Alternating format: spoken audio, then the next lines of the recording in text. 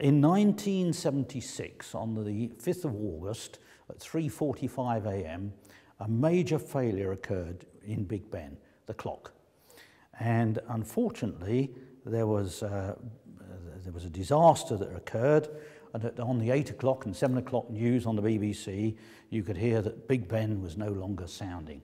And the failure uh, had resulted in the weight, which weighed a, a ton and a quarter, descending down the 180 foot shaft, and the wire rope that comes from the weight wrapped round a big barrel, which weighs uh, 500 weight and isn't much smaller than the size of this table.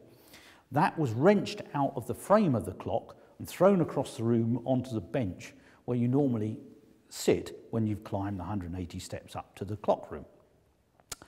So we knew, because I had a knowledge of the components of, of the clock, what likely components might have failed. And sure enough, what had happened was the, the safety brake, the fan, big fly, on the top of the clock had become detached from the rest of the clock mechanism, allowing the weight to descend down the shaft at a very fast rate and it ripped this big barrel from the clock. The whole of the end of the clock got uh, broke. Um, bits of clock were through the roof and everywhere. And if anybody had been up there, they would have been killed. So a group of, of uh, scientists under Norman Owen and included Phil Irvin, who was an expert in fatigue, uh, and myself and Jim Furse from the design office uh, got involved and we went up there and, and a report, an NPL report was produced that detailed the failure investigation and we did some metallography on the, on the uh, components. Um, and it turns out it was the longest time recorded fatigue failure that's ever been recorded because it, over the 120 to 130 years life of the clock, a crack had propagated up the shaft that supported the fly, which acted as a governor, had propagated over a metre up that shaft. It had then gone through 90 degrees the shaft had sheared off. The shaft itself that supported that was actually a butt-welded, seamed butt-welded tube, rather like a piece of gas pipe. And the crack was propagating up the, the join of the seam, and you couldn't see it if you were up there. It was the lighting up the tower was too small, to, too poor to be uh, capable of seeing it. It turned out, and that was August 1976, the Queen was due to, as part of her Silver Jubilee celebrations, was due to come round and unveil a new fountain in St Stephen's Yard at the base of the tower, uh, of the Westminster Tower.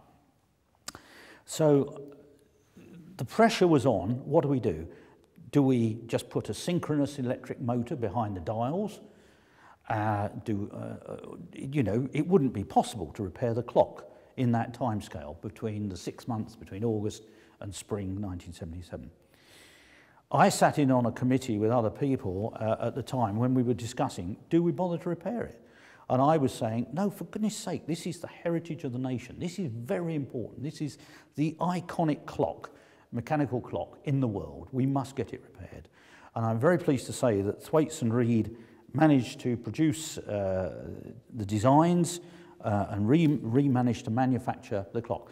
These days, it would take you six months sitting on a committee to decide whether or not the funding was available to get it repaired. But within six months, that clock was completely rebuilt. One of the things that NPL contributed to was a safety brake. So to prevent any further failures occurring to the clock, a special type of safety brake was designed. And Jim Furse from the Engineering Design Office and myself were coming back from the Palace of Westminster, having been up to the clock to do some measurements on it to think how we could de develop a safety brake. And we were on the train coming back from Waterloo back to Teddington, and I kept saying, look, we want a safety brake that is fully self-contained. It shouldn't rely on any external sources, because if there's a power failure and it's electric and the power goes down, it won't work, and so on. So Jim whips out an envelope, classic back of the envelope type of thing that really does happen.